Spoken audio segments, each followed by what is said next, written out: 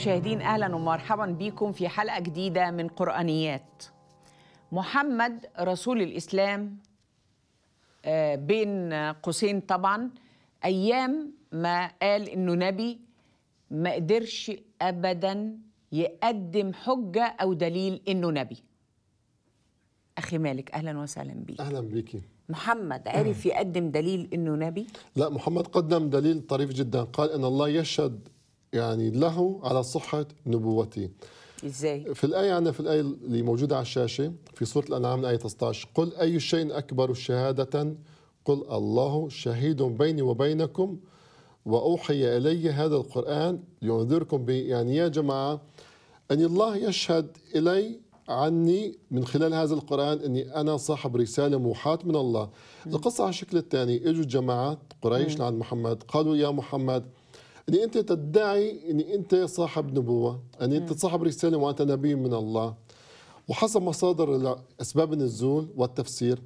فقالوا قريش لمحمد يا محمد نحن سألنا اليهود عنك وسألنا المسيحيين عنك. فكلا الطرفين قال اني ما عندهم يعني أي دليل بمصادر أو ما عندهم أي شاهد يؤكد إني أنت صاحب نبوة حقيقية. يعني أنت ما يعني بالنسبة لليهود والمسيحيين لا يوجد عندهم أي دليل.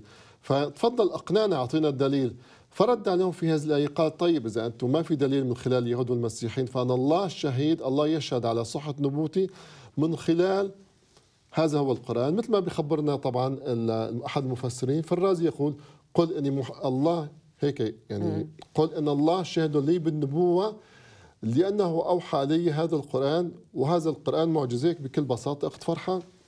يعني باختصار ان الله هو الشاهد على صحة نبوتي وما هو الدليل الذي أقدمه؟ هذا هو القرآن. طيب هل الحجة اللي قدمها دي كانت في صالح محمد ولا ضد محمد؟ واقعيا لا تعتبر في صالح محمد، واقعيا تعتبر ضد محمد، اولا لأنه الحجه يجب أن تكون من خلال شاهد خارجي، فالرجل يشهد لنفسه من خلال نص قرآني، يعني بإمكان أي شخص اليوم يأتي ويقدم نص أدبي ويقول أنا رسول من السماء، فإذا سألناه ما هي الحجة يقول هذا الكتاب الله اوحى لي فهل هذا يقبل منه؟ يعني نحن اليوم نتخيل نسمع شخص يقول إني أنا رسول من الله وإذا سألناه يا فلان ما هو الدليل؟ إذا قال هذا الكتاب الذي بين يدي أو هذا النص الشعري ف إيش راح يكون موقف المسلمين أنفسهم؟ راح يضحكوا ويقولوا له أنت مجنون؟ يعني أنت راح تعطينا كتاب عشان كده هو استخدم السيف عشان نعم. يقنع الناس أكتر.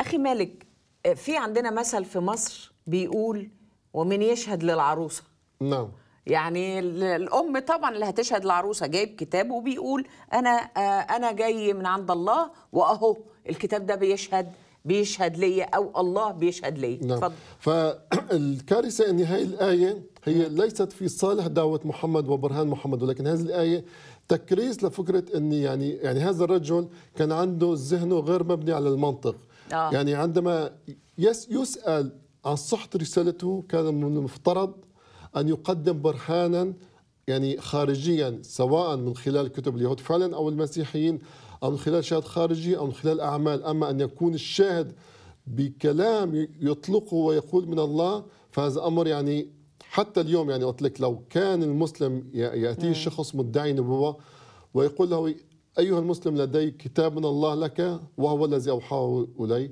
سوف يضحك المسلم سوف يقول إن هذا الرجل مجنون سيحتاج إلى جلوس في يعني بيت المجانين. هسألك سؤال. لما المسيح سألوه قال, له قال لهم إيه؟ لو مش مصدقني صدقوا الأعمال التي أنا أعملها. نعم. صح؟ يعني المسيح قدم برهان خارجي علشان الناس تصدقه. يؤكد الكلام اللي هو بيقوله. نعم. فمحمد بيقول عايزين تصدقوني؟ ده الله هو اللي شاهد. مين الله؟ نعم. فين؟ أين الله؟ أين هو الشاهد؟ بالظبط كده. كلام شاهد نعم. ما شافش حاجة. نعم. شكرا جزيلا أخي مالك. آه وزي ما قلت لكم كده محمد على مستوى القرآن كله لم يستطيع أن يقدم دليل إنه نبي غير اللي شاهد ما شافش حاجة. شكرا جزيلا. نشوفكم في الحلقة القادمة من قرآنيات.